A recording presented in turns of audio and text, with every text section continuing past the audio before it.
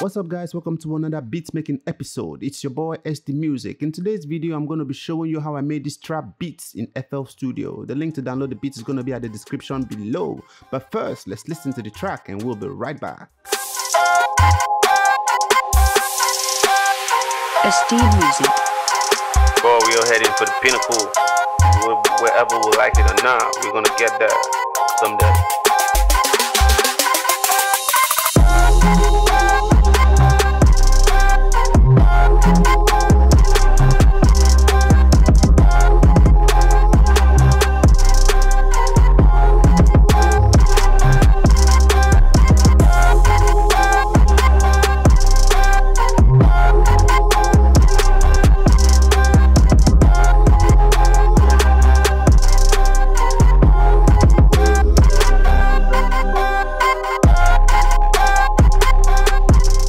Alright, the beat was made using 10 patterns, one automation clip, and two samples. By the way, if you're just joining us, it's your boy SD Music at the studio, that is in FL Studio. Back again with another beat making review. On pattern one, we have the arpeggio instrument of the beat.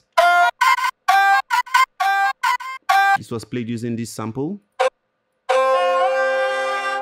Yeah, then what I did is just to um make sure I put it on the stretch mode so that it will automatically resize to fit my BPM. Then I right click on here, I went to the piano roll and laid out this sequence.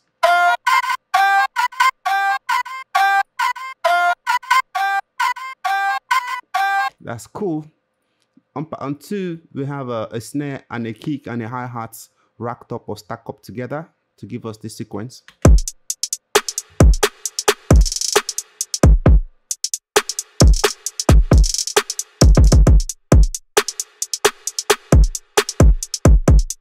Then on pattern 3, we have another version of the kick.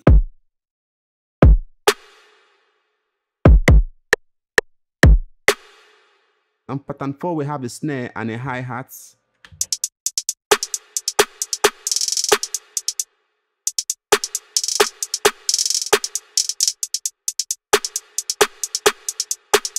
Okay, the next pattern, which is pattern 5, we have another version of the kick, snare, and hi-hats. Then we have uh, another version of the kick and the snare on pattern 6.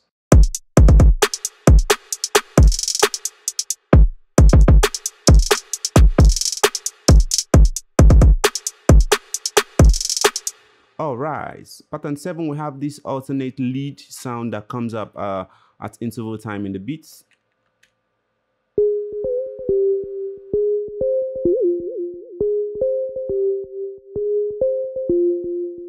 This was played using Nexus. The next pattern we have the bass.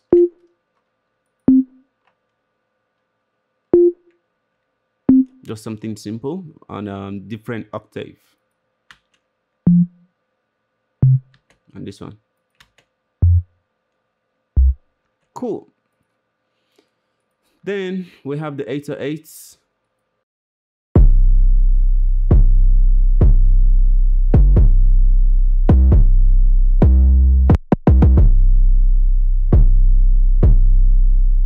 Pattern 10 we have another version of the 808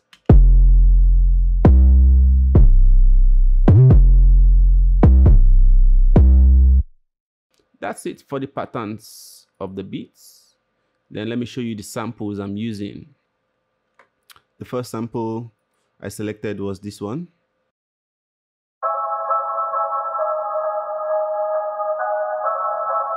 Yeah that's a, a, typical trap melody or trap sample you know? Then i'm using this vocal take that i used to formulate the choir sound in the beats. I did about some three takes. The first one sounds like this.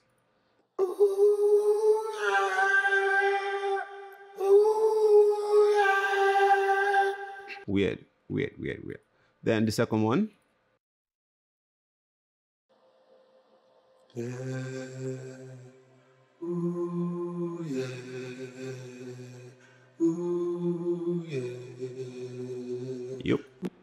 Then the third one. Yeah, that's it. That's the third one. All right, then I, now brought it in. Before that, I sent them to the mixer track. I actually sent all of them to the same track, which is track 11.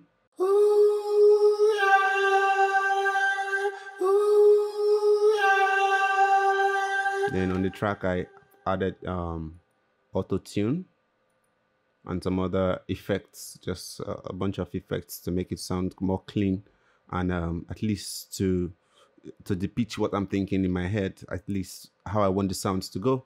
Then after that, I did this take two. Ooh, yeah. Ooh, yeah. All right. After take two, I did another take to complete the acapella, which is take three. Ooh,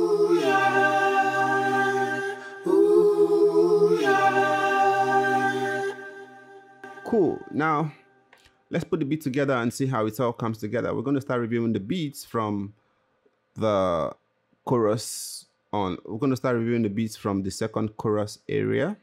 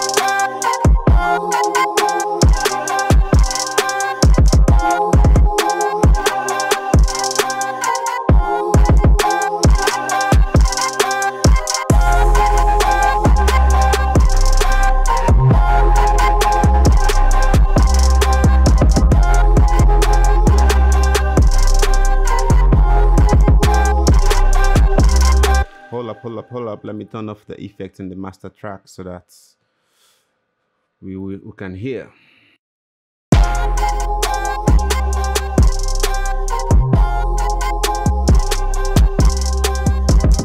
This automation right here is automating this sample for me so that I can have some uh, some highs and some lows in the area. Yeah.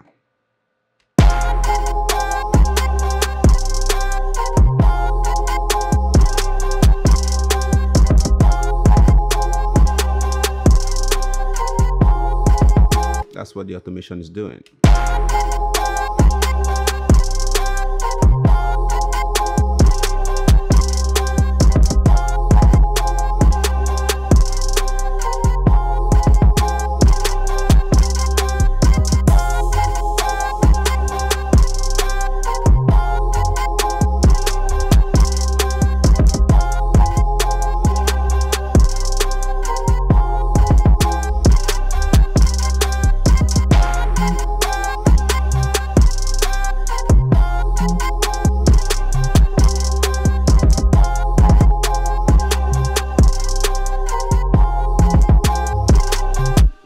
Effects in the master track now so that we see the difference or hear the difference.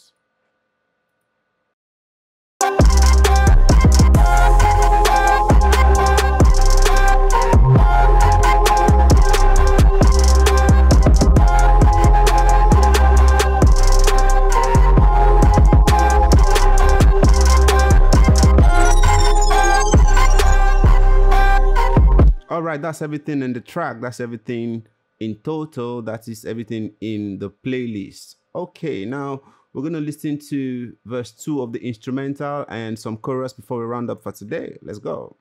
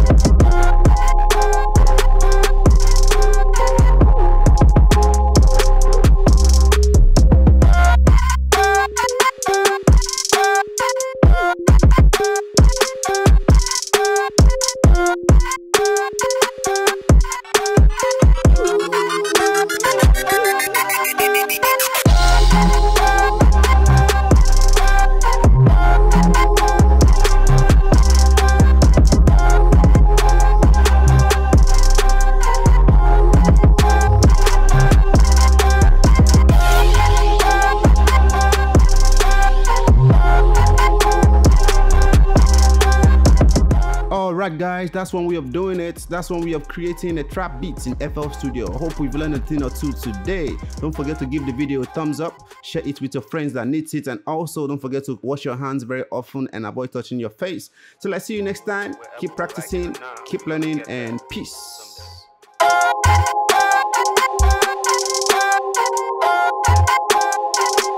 We are heading for the pinnacle.